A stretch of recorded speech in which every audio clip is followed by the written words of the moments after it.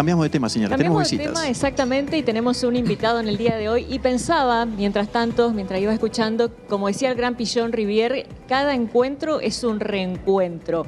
Y cuando vinieron y nos dijeron que iba a venir un escultor que hoy presentaba un libro que es uruguayo, dije, ¿será Diego Santurio el que viene hoy acá a hacer la entrevista? Así que confirma esta frase del gran Pillón Rivier, le vamos a dar la bienvenida a él. Hola Diego, ¿cómo te va? Bienvenido. Hola, Liliana, ¿cómo están? Bueno, tal, Diego? ¿Cómo andás? Muchas gracias. Todo gracias. Bueno, tu visita hoy es la presentación de esta belleza que tengo en mis manos justamente. Sí, Estamos viendo densidades e infinitos. sí, fue una muestra muy linda que hicimos el año pasado en el Centro Cultural Nordeste. eh, Una muestra organizada por la Fundación Urunday, eh, por la Bienal, naturalmente, por el Centro Cultural, en la universidad. Este, es una, muestra individual de casi 20 piezas que estuvo expuesta un mes. Y bueno, quedó pendiente hacer el catálogo este, y coincidimos con, todos los participantes que, lo mejor era presentarlo en el marco de la Bienal. Exactamente. Acá también en, el parque contamos con obras tuyas, que eh, todo hemos pasado en algún momento a sacarnos algunas fotos. Pero contanos de dónde viene tu amor por esta parte de la escultura, por este bueno, elemento es una que vos historia. usás. Eh, ahora cuando, cuando presentamos el libro un poco conté mi vínculo justamente con Resistencia. Este, yo fui jurado del concurso internacional en el 2016. Este, me decía José sé que seguramente uno de los jurados más jóvenes que tuvo, que tuvo la Bienal, lo cual es un honor. Este, y después en el 2018, eh, con Fabriciano, eh, planificamos el hacer esta obra que quedó en Resistencia, que se llama Ando de Abún. Es una obra que está instalada acá en el parque.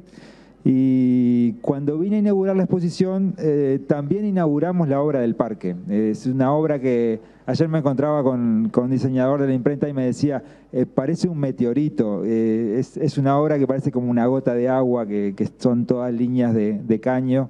Este, No sé si- se llega a ver ahí. Forma parte del libro también, del catálogo, porque justamente se inauguró en, en mi, mi venida también a- a inaugurar la exposición.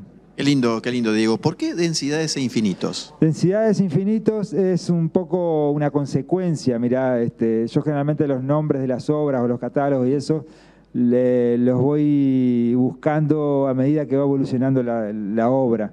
Y eh, en sí toda mi obra está vinculada al infinito, al espacio. Es una obra muy etérea, este, in- ingrávida en un punto.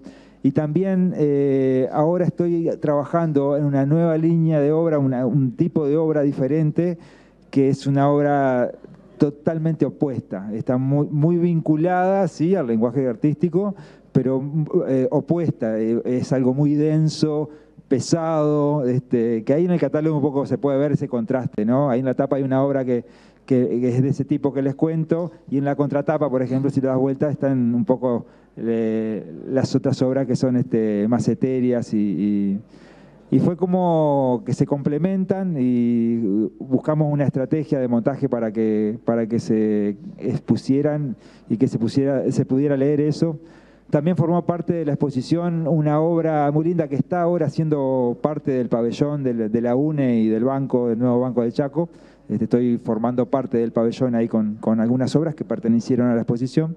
Este, una obra grande que es eh, pensada para una interacción también, que, que las personas puedan este, eh, manifestarse, que la obra invite a un gesto, es, es algo interesante, que también está en el catálogo ahí una muestra de eso. Eh, Puedo decirte que lográs el objetivo, ¿no? Porque la obra que está acá emplazada justamente en el Parque 2 de Febrero, creo que la mayoría que hemos pasado por ahí la hemos elegido para algunas fotos porque la verdad que te llama la atención, te atrae, porque es algo eh, que a la vez podés estar desde adentro o verla Sin desde duda. afuera. La Sí, obra es sí. muy interesante. Sí, sí. Ese es un camino que, que hace tiempo que vengo transitando también. eh, el poder este, ser parte de la obra, que, que las personas puedan entrar en ella. Y ahí pasa algo muy interesante, que es, eh, perder de vista la obra, ya se pierde el objeto, la persona no puede contener eso, sino que la imagen que tiene es parcial y ahí es otra, una experiencia diferente. Este, sí. Qué lindo, eh, qué lindo, qué, lindo, eh, estamos viendo un poco acá, ojeando con, con Liliana, increíble las obras.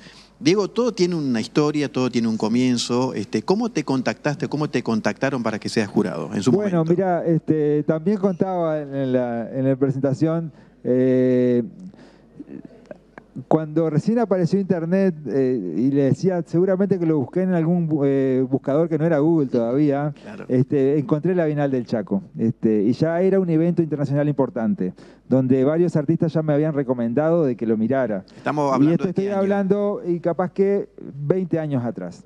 Sí, sí, sí, 20 años. Este, me animo a decir, yo recién estaba, recién me aparecían las páginas web, este, me estaba armando. Y, en ese momento me presentaba a concursos. Este, entonces estaba la posibilidad, digo, qué lindo poder participar de esto. Este, nunca me presenté eh, por diferentes razones y después mi desarrollo en el arte tomó otros rumbos que por opción este, y por salud a veces eh, del camino opté no concursar más. Entonces vi a la Bienal como ya algo este, que no iba a suceder. Hasta que un día me llaman y por recomendación de Hernán Dompe, que es un artista argentino muy importante, que tiene obra acá Resistencia. Hernán creo que fue el primer ganador de concurso. creo que O uno de los primeros ganadores. muy reconocido. Este, bueno, Hernán, nos conocimos con él en México, una exposición muy importante que, que agrupó a 50 escultores vinculados al metal de todas partes del mundo. Este, y bueno, y, él entendió un poco qué era lo que yo estaba haciendo. Este, ahí en esa, exposición me hice de muchos amigos grandes, maestros, que me trataban como tal, este, y ahí entendí un poco eh, que lo que estaba haciendo yo era algo importante. Entonces este, fue como empezar a, en el plano internacional eh, a ver un poco la realidad de lo que yo estaba haciendo.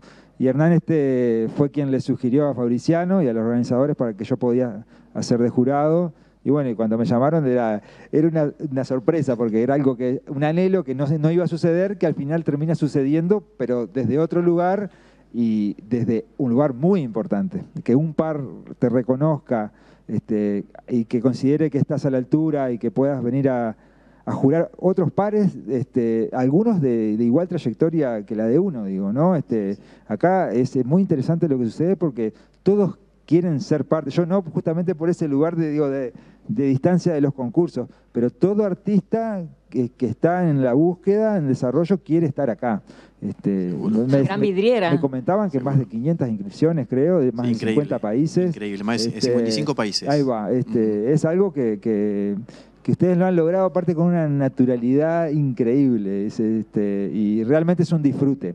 Este, esto que digo yo de los concursos, eh, hay algo que también que pasa muy lindo acá, de que tuvieron la inteligencia, que Fabriciano creo que estuvo atrás de eso, de que el jurado sea artista. Entonces, eh, vos sentís una cierta comodidad y garantías a la hora de venir. Seguro, este, seguro. Eso, eso me parece fundamental. Exactamente. Diego, eh, te agradecemos un montón porque tiene que seguir recorriendo. Gracias a José Inman que, nos acercó. Gracias a Diego por, por gracias, Diego, ¿eh? Densidades infinitos. Y todos los éxitos, Diego. Y sabe que sos bienvenido. Gracias, muchas gracias. Muchas gracias.